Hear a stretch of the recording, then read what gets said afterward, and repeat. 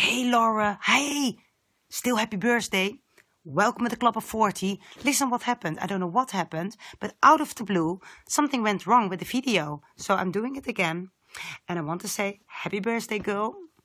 And um, I'm going to bed now. But before that, I thought, let me wish you the best. 40 is just a number. And um, basically, I was not on your party because I heard you want to invite Dawn. Of course not. course not. Have a good one. And uh, babe, have a really, really good year. Happy birthday.